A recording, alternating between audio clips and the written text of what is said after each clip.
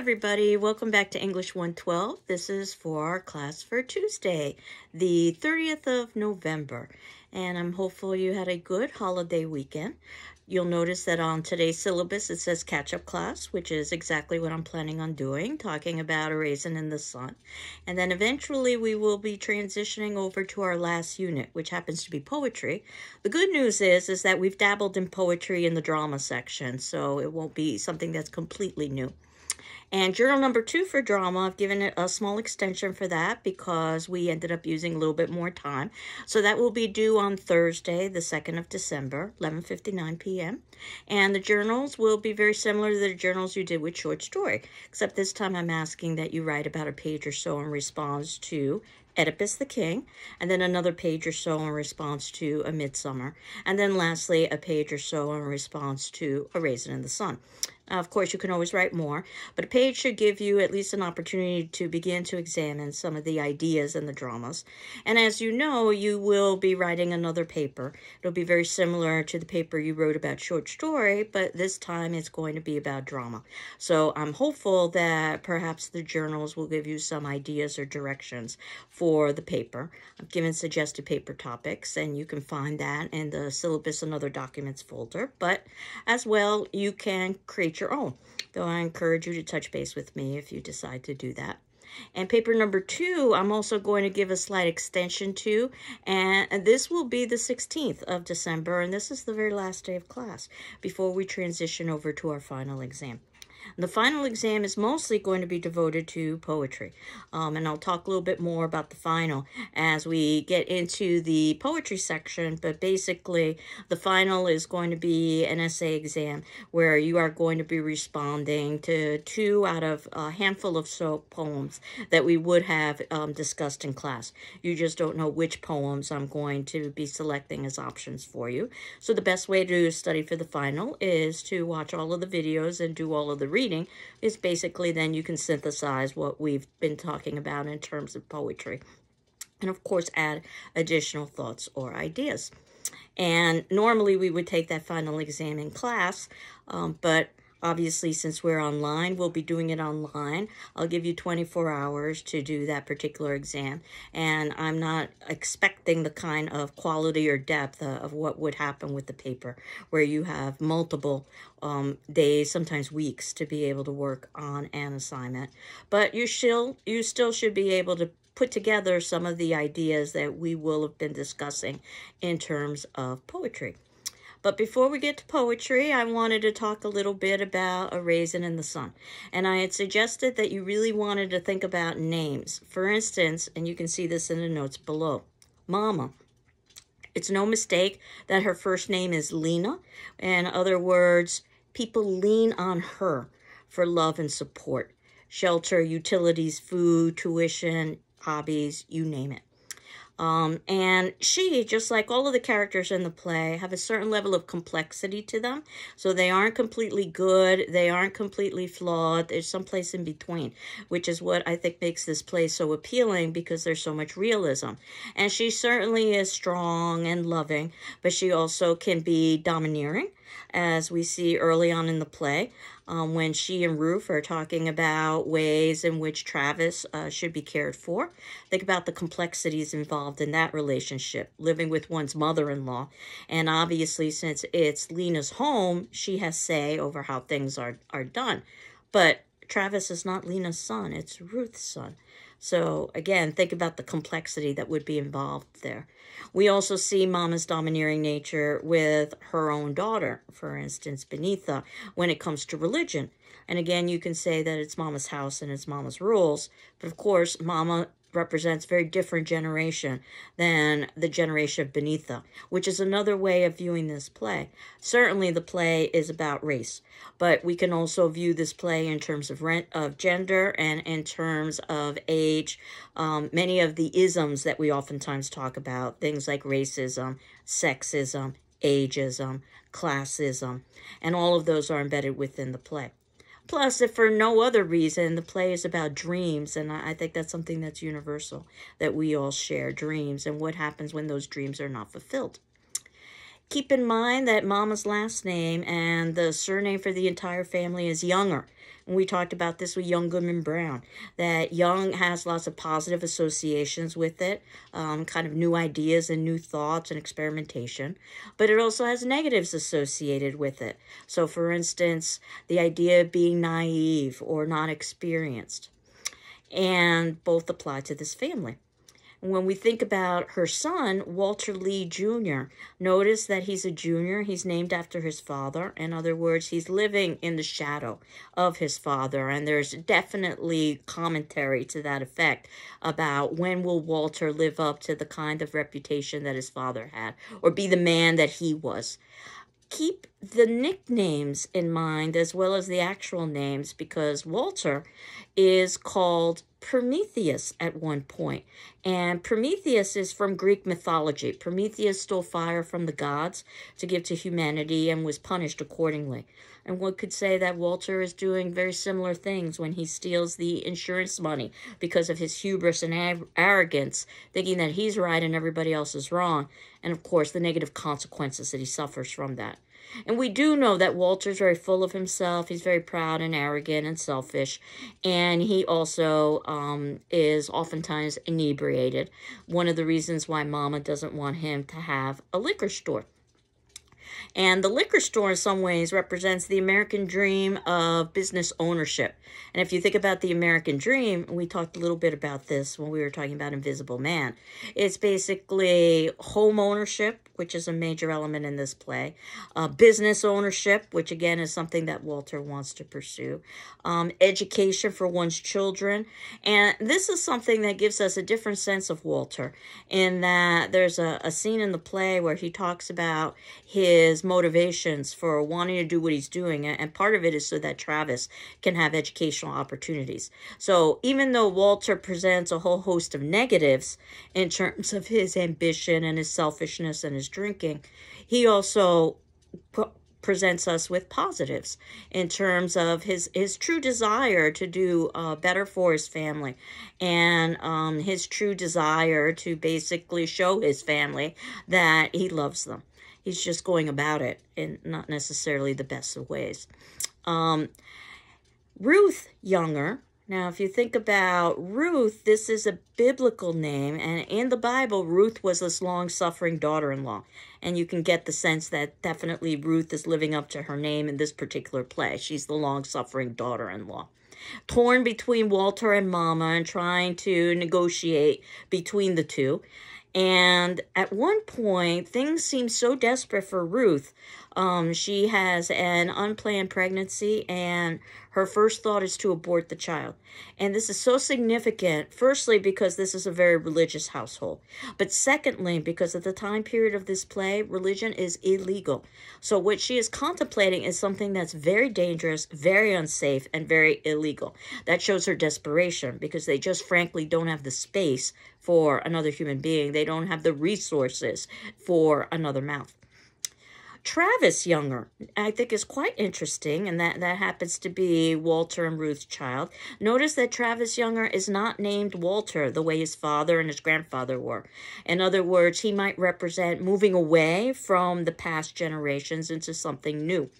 And I think that's illustrated with him wanting to have his own work ethic. He wants to carry groceries on his own. And he also buys Mama his own gift rather than um, um, chipping in with everybody else. The the carrying the groceries, we can see that as a pos as a positive, and then he wants to contribute to the family and be responsible. But it also can be seen as a kind of negative that he's so young and yet so concerned with money. In some ways, we might say these are the lessons that he's learning from his father. And then Beneatha Younger. And it's not too much of a stretch to see that her name, Beneatha, is about being beneath.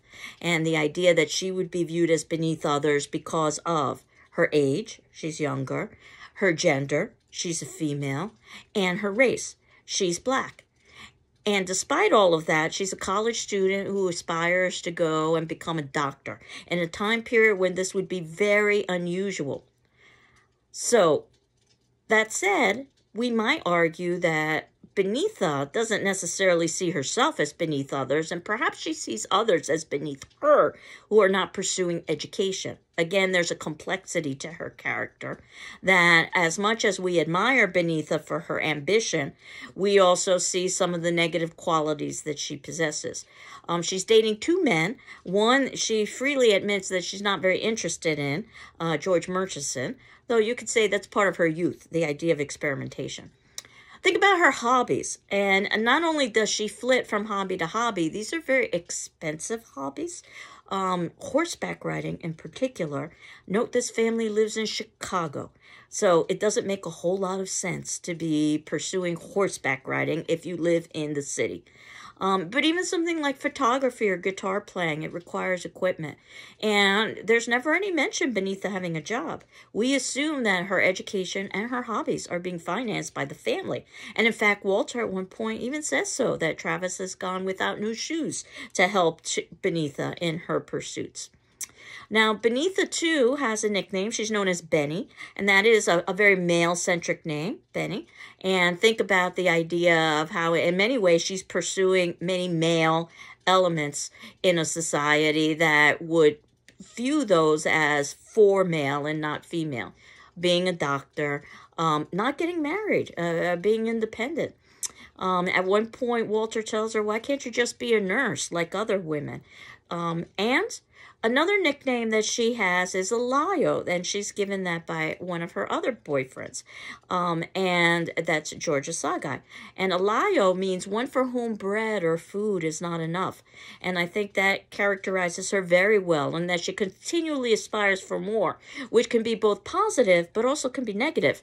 Remember how we talked about this with the sorrowful woman, that we could, I, um, we, we could empathize with her needs for more. However, we also understand that she has responsibilities to others. It's not just herself because she has a family. And how do you balance those two? So again, very realistic with an element of complexity there. Um, she's very much uh, resistant to assimilation. She very much wants to embrace her cultural identity, so much to the point that she looks down on other members of the family who don't, in her opinion, embrace their cultural identity. And I think that this strong female, Beneatha, it, in some ways could represent uh, Lorraine Hansberry herself in a very male-centric sort of occupation, playwriting at this particular point.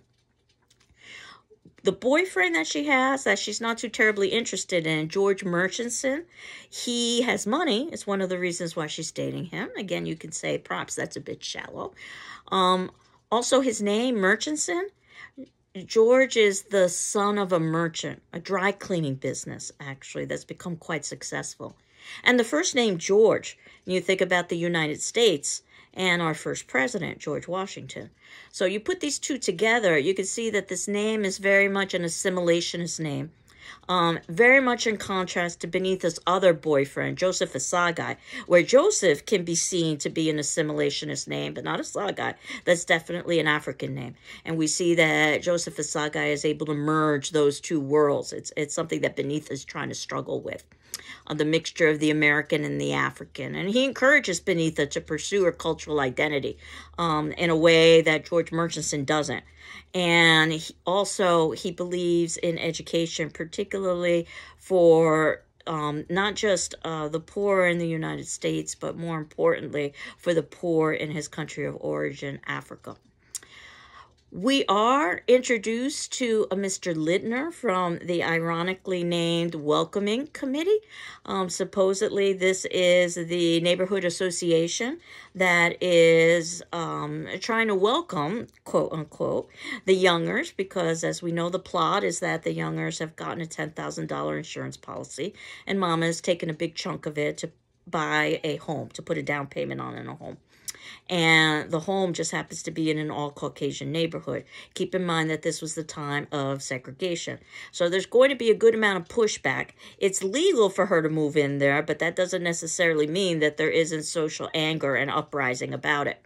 And we see that with Mr. Lindner. Notice he has the title of Mr. of Respect when he comes to the household to try to convince them that, well, it would be better if they didn't move in. They would be happier. And the neighborhood has gathered together money so that they could basically buy them out of the house. And of course, initially the response is no, that we earned this house and we have every right to it. After Walter takes the rest of the money that Mama entrusts him to and, and basically squanders it in a bad business deal, that's the point where Walter thinks about accepting Lindner's offer. Where I've had many, many readers and students say, well, maybe he should have accepted Lindner's offer because he would have come out ahead financially. He could have bought another home. But at what cost? If you think about the how he would have lost his self-respect and his pride and his honor, which is something that Walter comes to by the ending of the play. Um, though I suppose if he were really a savvy businessman, he would take the money that Lindner would give him and yet buy another home in Clybourne Park and just continue over and over again until he actually owned all of Clybourne Park. Um, I think that's what the robber barons did in, in many respects when we think about American history. But again, the the play, which has its low moments but also has its high moments, one of its highest moments is Walter's transformation at the end and the ability of the family to unite as one. Because keep in mind that as as distraught as they all are that the money has been lost, they haven't lost the money for the down payment of the house. They've lost the money that would have gone for Walter's liquor store and the money that would have gone to Beneatha's education. But they still should be able to afford the house itself, especially because the way real estate was at the time that it was oftentimes more expensive to rent than it was to buy. And in fact, in some respects, it's still similar today. Now, one character that usually is omitted from the play, or at least performances of the play, because of length, this is a long play, and also because of cost, because you've got to think about hiring something like an actor and understudying, wardrobe, and so forth, is Mrs. Wilhelmina Othello Johnson. And this name is a mouthful. This is the nosy neighbor. And basically, she's supposed to be a friend and a, community member of the Youngers, but she doesn't much act like it. She seems to take a, a certain level of delight that the Youngers are going to be experiencing difficulties when they move into an all Caucasian neighborhood. And her name gives us a sense of that. Othello is a play on the uh, on the name Othello, which happens to be a drama by Shakespeare, which happens to be about a Moor, a black man who basically marries a white woman, and the consequences, the discrimination and the racism that results because of it. I don't want to give away too many spoilers. And of course, the person who wrote Othello is Will Shakespeare. Notice that the nosy neighbor's name is Wilhelmina Shakespeare. So this is Hansberry's wink and a nod that she's referencing Will, William Shakespeare, and his play Othello, and that racism and discrimination still exists, not just from others, but within one's own community, which goes to show the many challenges that the youngers face, not just from welcoming committees, but from their own neighbors. Um, and if you think about the name Johnson, that's also a very common name. And we talked a little bit about this with young Goodman Brown, too. The suggestion is that perhaps Mrs. Uh, Wilhelmina Johnson is not the only one who would act this way of members of her own community advancing themselves.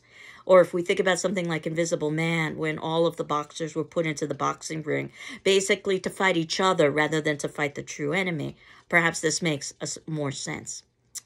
Now, um, Bobo is one of the business partners that um, that uh, Walter has. And might I suggest you don't need to be an economics major to figure out that maybe it's not such a great idea to be giving money to a Bobo, which is basically an idiot, a kind of clown-like figure. That's what that means. And Willie, the one who runs away with the money, um, Willie is a slang term for penis, and one might say that he's a real you-know-what for stealing the money. So again, Hansberry very, very careful with the names that she's choosing. One character that oftentimes is ignored or forgotten as a character that I wanted to draw your attention to is the plant. Because people usually think of characters in terms of human beings. But I would say that plant is central to this play. The plant needs to be cast correctly. It needs to look like it barely is surviving. So it can illustrate the plight of the family, which is barely surviving. Basically, just being kept alive by love and, and mama's nurturing. And then you could say the same for the family. And much like the family, the the, plant is crowded. It doesn't have a place to spread its roots, or in other words, to um, spread out. And think about how we use the word roots to reference family, as well as a plant's roots, for instance and then the actual title, which comes from um, a, a poem, A Dream Deferred um, is the first line, and it happens to be a poem called Harlem by Langston Hughes.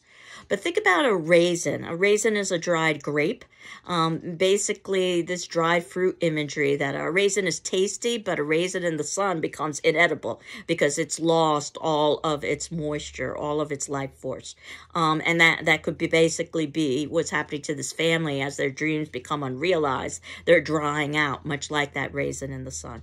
Think of the color imagery as well. Raisins tend to be dark and the sun tends to be light.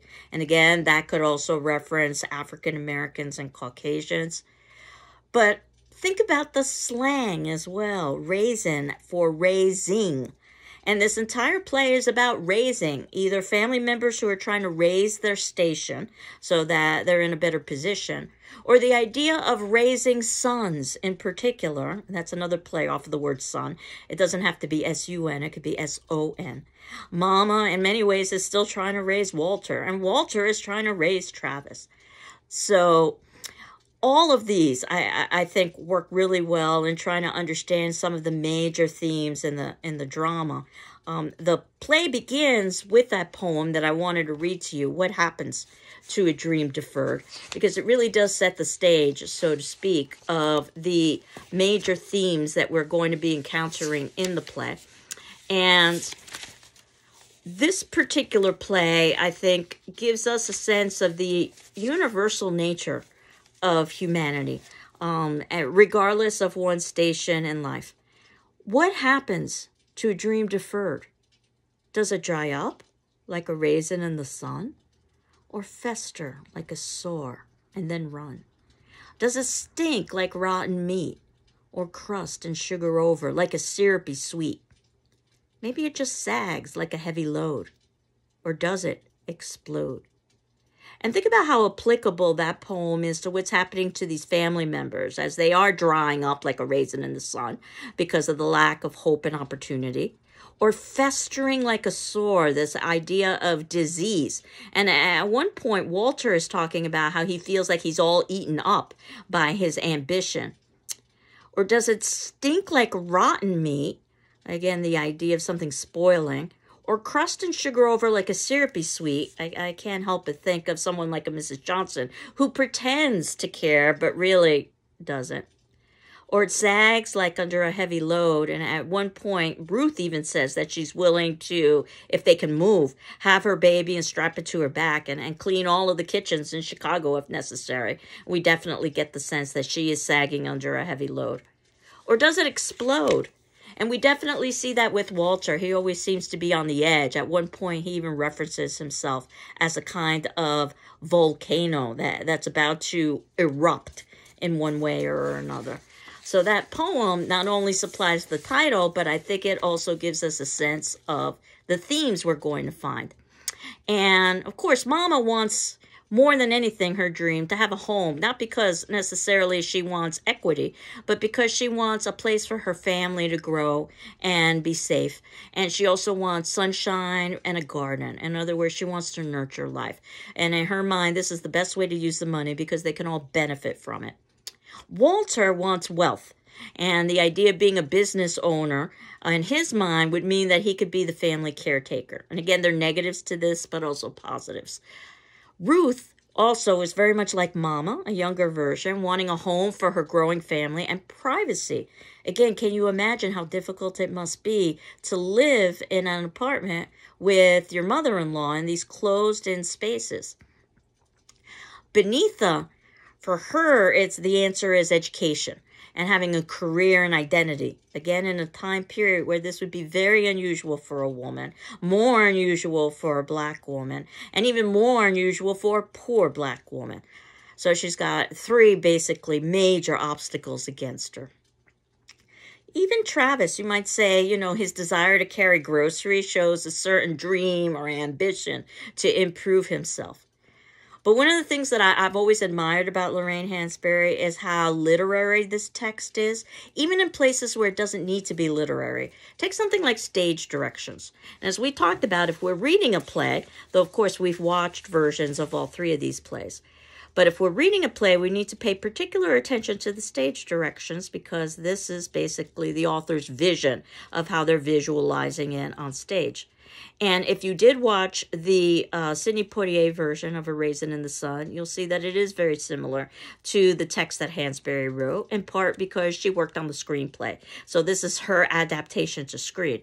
And obviously, you can take liberties when you're on screen. We have outdoor scenes in the movie that we would never have in the actual play because you can't put an outdoor scene on the stage realistically.